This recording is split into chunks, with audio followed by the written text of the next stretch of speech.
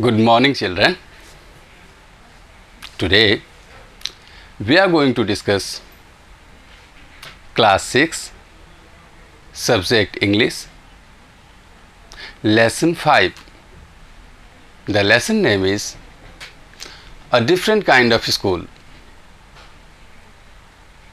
Part 2. In this part, we shall discuss the question answer of the chapter. My name is Kundan Chaturvedi and with me Krishna Chauhan. So let's start.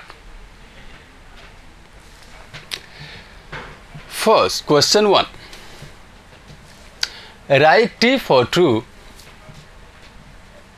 and F for false statement. It means in this question you will have to write T if the sentence is correct or you will write F for wrong sentence. Understand? First, the narrator had heard a lot of bad things about Miss Beam and her school. Is it correct? No, it's wrong. So we shall write F in the bracket. Second, the narrator visited the school. Is it correct? Yes, it's correct. So we shall write T in the bracket. Third, the narrator had left the school in anger. Is it correct? No, it's not correct.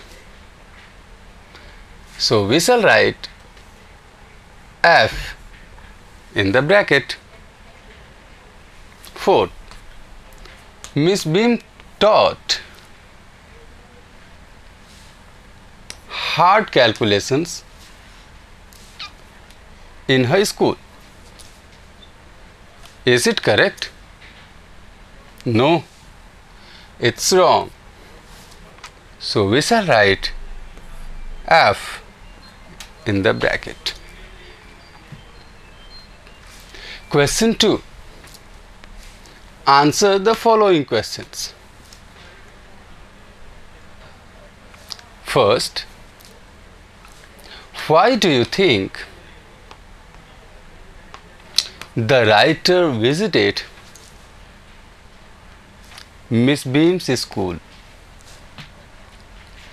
The answer is because the writer had heard much about Miss Beam's new teaching methods. Second, what did Miss Beam explain to the narrator?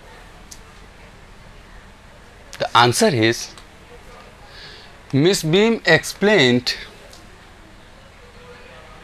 that the school observes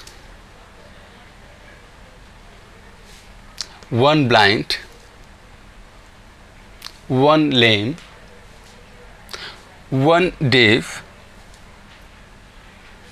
one injured, and one dumb day for every child in a term. Third, what was the purpose of these special days? The answer is they learn to help the needy in the society, which made them good citizens. Now it's homework time. Question 1 Where did the narrator visit?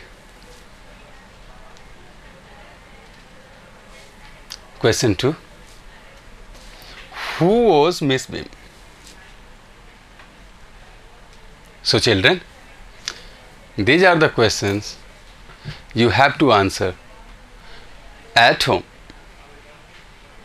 Understand? Thank you. Bye.